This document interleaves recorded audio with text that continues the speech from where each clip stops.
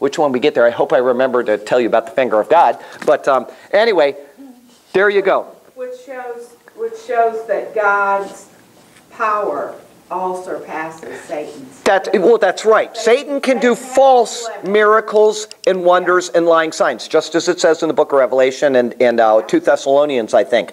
But God surpasses that. And that's another point. Might as well tell you because um, in the book of Jonah, and I just happened to notice this. I was I had to read it like five times or six times in a row, and you know you could just say yeah I read it and then. But for college, it was one of my projects was the book of Jonah, and it says read Jonah this, and of course all you do is you say yes I read it the second time. Well I really read it. I'm not going to lie about that. Whereas I'm sure some of the people just said yeah I read it, but when I read it by the fourth or fifth time, I realized that God prepared four things. And this particular word, manna, is only used, it's used 28 times in 27 verses of the Bible, but it's only used five times as that word. In other words, we have a word that can have different meanings. In this meaning, it's only used five times in the Bible, and four of them are in the book of Jonah. Okay? So, he prepared, specially prepared, a fish. He prepared a plant, he prepared a worm, and he prepared an east wind. Well, what does that tell you?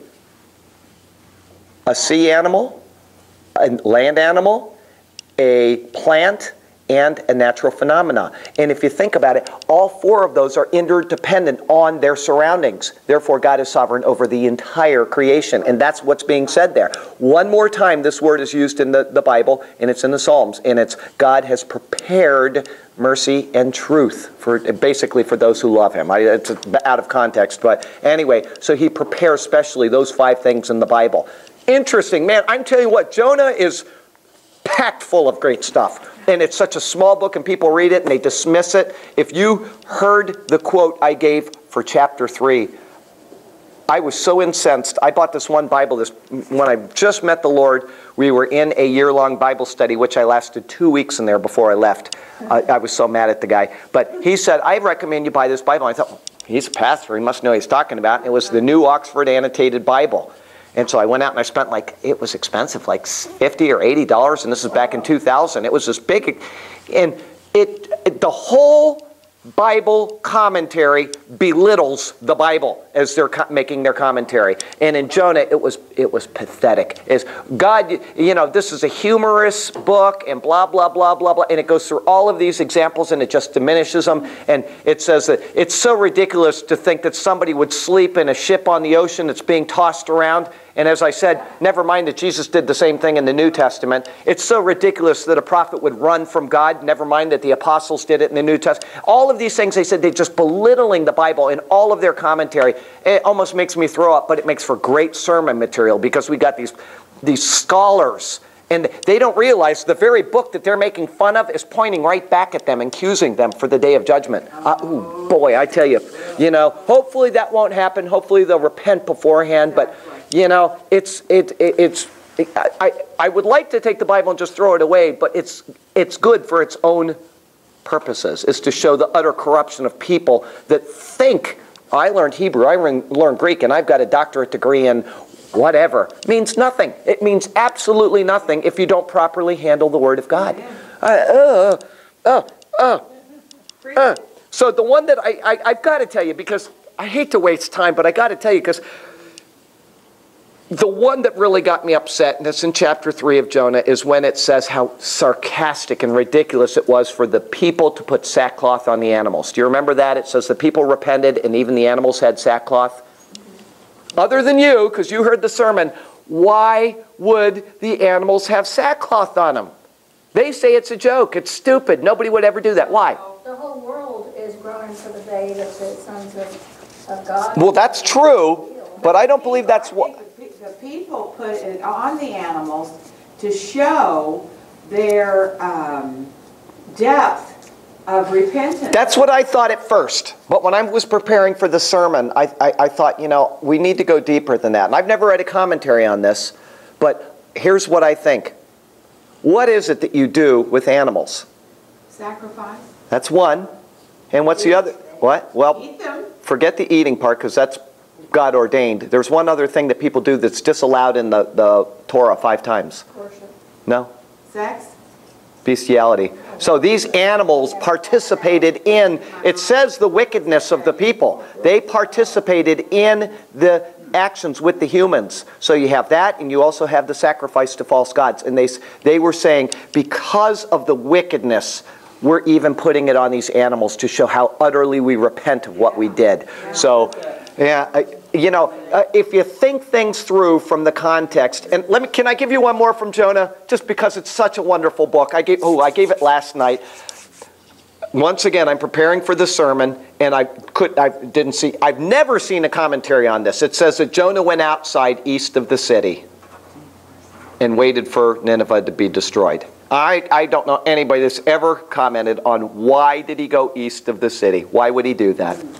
Oh, east. Why would he go east of the city? Oh, you've talked about that. No, that, it's not what you're thinking. I know what you're thinking right now because I've talked about east of Eden and Yeah. Yeah. But here's my thought on that after thinking it through, because I want to make sure that when I preach something, it's going to be what I believe is proper. Here's what I think it is it's that in the Bible and in America, when do we attack our enemies in America? Whenever we start a war.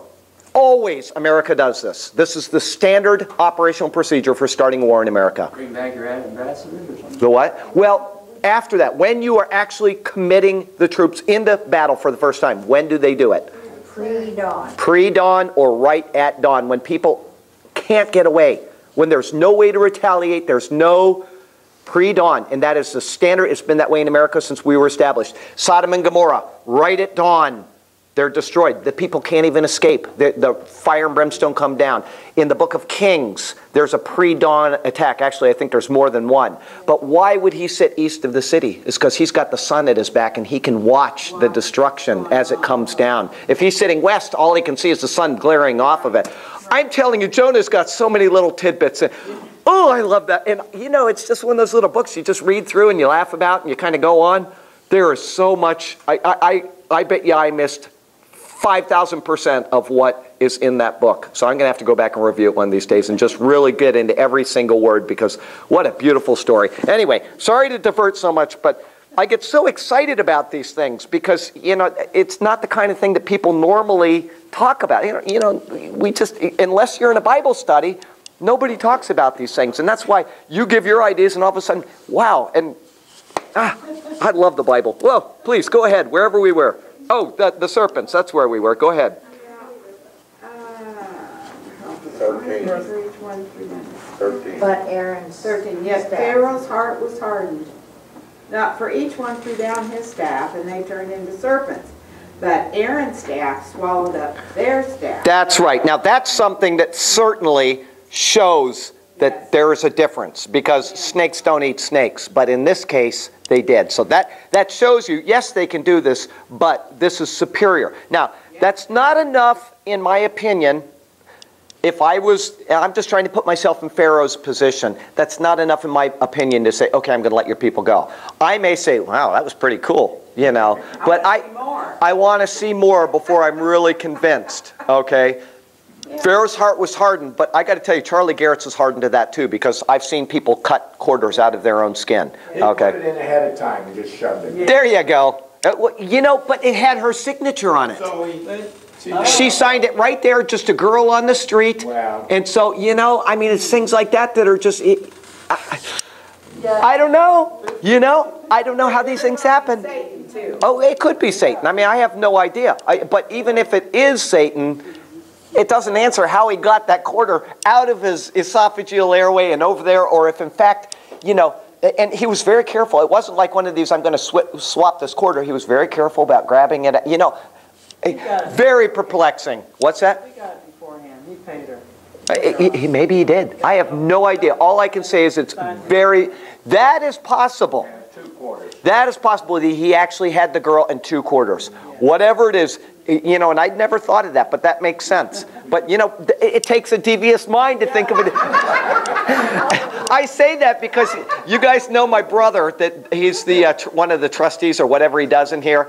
He, he's got a mind like that. I never would have thought of that. Okay, but here's what he thought one time. Remember the club that you put in your steering wheel so nobody could steal the car? It's made out of high carbon steel so you can never cut through it. Right. Why didn't that take off? After the first year, you don't see it anymore. Why? Well, you cut Because the they steering changed, wheel. Because, yeah, devious mind. I never would have thought of that in my whole life. Cut the steering wheel. You don't need it. I never, because I don't think that way. My brother said, he said that right from the beginning. That's the stupidest thing in the world. I'm saying, why? He said, because you just cut the steering wheel. I'm like, I'd be sitting there all month cutting that stupid thing. Oh, but there we go. Pharaoh's rod. No, stupid. Now my ears are red from being embarrassed. Oh, I'm just, I'm a dummy. Make a good criminal. No, I would make a tear. I'm one of the guys on YouTube that falls out of the roof, breaks his leg, and then sues the company and becomes a millionaire. You know, that's, oh, oh gosh. Go ahead, please. Yet Pharaoh's heart was hardened, and he did not listen to them as the Lord had said. Then the Lord said to Moses, Pharaoh's heart is stubborn. He refuses to let the people go. Go to Pharaoh in the morning as he is going out to the water, and station yourself to meet him on the bank of the Nile. Okay, now this one here is right afterward. It says go in the morning. Okay, so we can assume that this one is after. All of these are on a couple pages. I want to tell you this in advance. They're all on a couple pages. But according to Josephus, they go over, I think, a two or three year period. I mean, it's not immediate. That one is, okay, just so you know. That Josephus writes, I I think it's him that writes that it actually is spread out over time. But when we're reading it, it's like reading the book of Kings. How can these people be so stupid? Well, there might be 80 years between two paragraphs. Exactly. So be careful when you say that because we've only been a nation for 230 years and we are as bad or worse than they were. Okay, so you know there's a lot of time, and plus they didn't have text messages, they didn't have communication, they didn't have all these things, and so you would think that it would develop slower there because like i said you know we're out in the country we're worshiping god our hands are in the soil. 80 years to them they're passing down traditions whereas here we've got everything right away. So we can't say how stupid they were when we should say to ourselves look at how stupid we are right? Okay. All right go ahead. Uh, let's see, where was it? 16 16. You shall say to him, The Lord, the God of the Hebrews, sent me to you, saying, Let my people go, that they may serve me in the wilderness. But behold, you have not listened until now. Thus says the Lord, By this you shall know that I am the Lord. Behold, I will strike the water that is in the Nile with the staff that is in my hand, and it will be turned to blood. The fish that are in the Nile will die, and the Nile will become foul, and the Egyptians will find difficulty in drinking water from the Nile.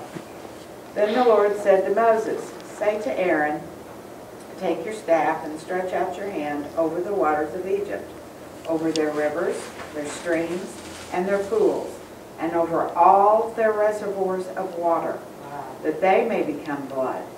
And there will be blood throughout all the land of Egypt, both in vessels of wood and in vessels of stone. Okay, now this says blood, and I have no reason to think that it's anything other than blood. Now, people have tried to attribute it to, you know, a, a, a ferric compound, iron that turns the water red, or you know, an algae or something. And we can't say that's not the case, but it does say blood, and I would say it is blood. That's just, you know, how I perceive that. I mean, uh, we weren't there at the time. All we can do is take it on face value and take it on faith that it actually was blood. Um, and uh, what does it say? I had another point I wanted to tell you. Rivert the rod that in his hand, um, the fish shall stink, then uh, take your hand over. Oh, once again, and I said this, and some of you might not have been in here, the reason why he is doing this in the way he's doing it is because he is challenging the gods of Egypt. Each one of these is a particular god the god of the Nile, the god of snakes. Remember this thing on top of Pharaoh's head, the symbol of Pharaoh. So each one of these is a particular god within Egypt, and he is subduing each god in order.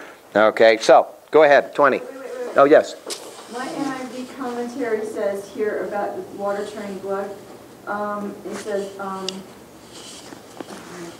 the, the first plague may have resulted from an unparalleled quantity of red sediments being washed down from Ethiopia during the annual flooding of the Nile in late summer and early fall, causing the water of Egypt's lifeline to become as red as blood. That's why I don't read commentaries right there. I'm just saying. to- Yeah, I, I, I- that's right. Is that's why I don't. Is because people start believing that. But the fact is, if that's the case, then they saw it year after year after year after year. And it would have meant Right. nothing.